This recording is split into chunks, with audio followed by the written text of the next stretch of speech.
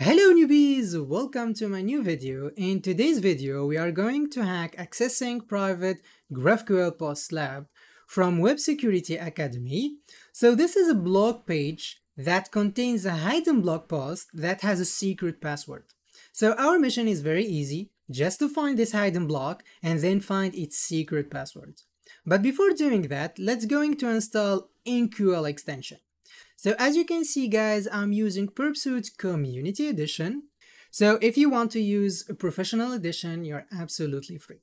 But in this lab, you don't really need that. So let's go to extensions, then let's go to BApp Store, and then in the search, let's write InQL.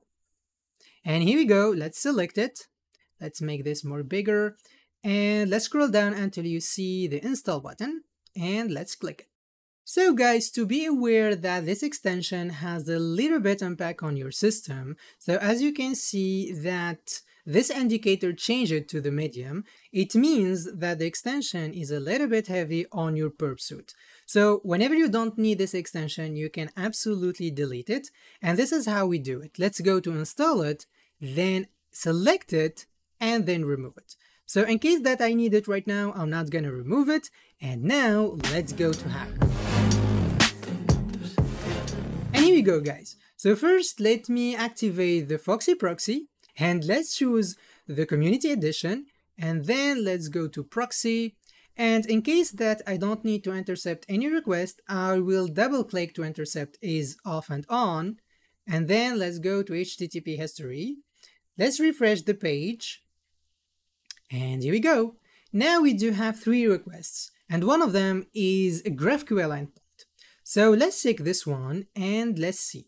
Okay, I think it's the request that we needed. So let's send it to repeater and let's check it more. Okay, let's resend the request. And here we go. Now we can find that this is a JSON format and it contains a get all blog posts. So this is a good indicator that it's a GraphQL uh, result. This is because we have a data attribute and we have a GraphQL the endpoint and also it use a post method. And as you can see guys, we have a new item in here called InQL. So let's go in there and check. And here we go. So guys, this is a GraphQL query and we have get all blog post and then we have four attributes in here.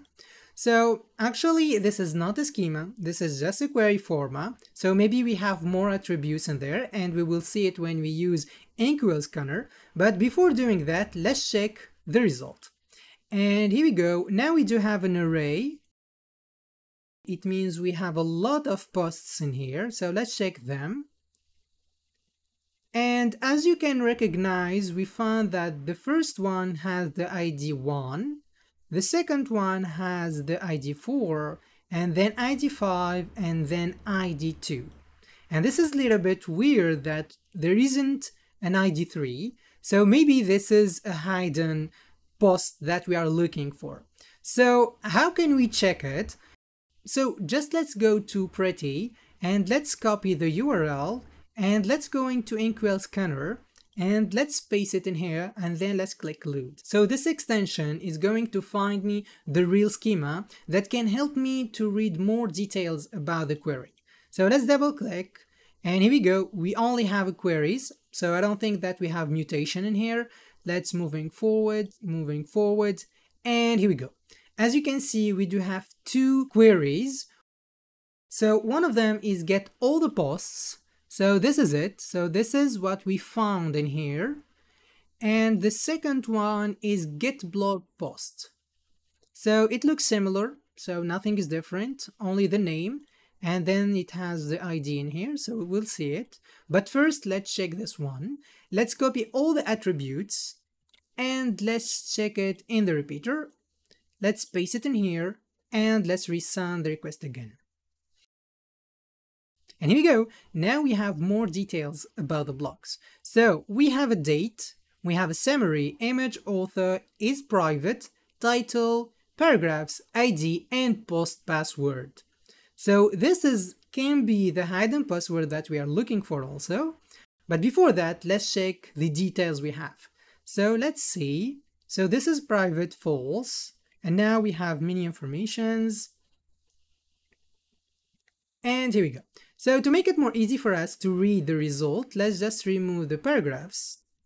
And let's remove um, the summary and also the date. I don't think it's necessary for now. And let's see. And here we go. Now the details is more short that we can read. And I can recognize that we have is a private false repeated in each blog. So this can be confused a little bit because maybe this is attribute where this query is filter the blocks. So maybe the third or the ID number three has is a private equal true. So that's why we cannot find it in here. So what we, got, what we are going to do now, let's go to InQL scanner and let's use the second query. And here we go, let's copy it and let's go to repeater and paste it. Okay, in case that we don't really need paragraph and summary and date, I, so let me test it with the first blog and have the ID number one. So I should see uh, don't believe everything you read in the title. And here we go, so this is it. So it's the same block. And now let me try if we can see the hidden block, maybe the ID3. And here we go. Now, as I said, is a private, now is a true, so this is why we didn't see it. And guess what? Now we can see the password. So let me copy it. And now let's go to submit solution and let's paste it. Here we go, now we hack it successfully. And thank you for watching my video and stay tuned for the next videos.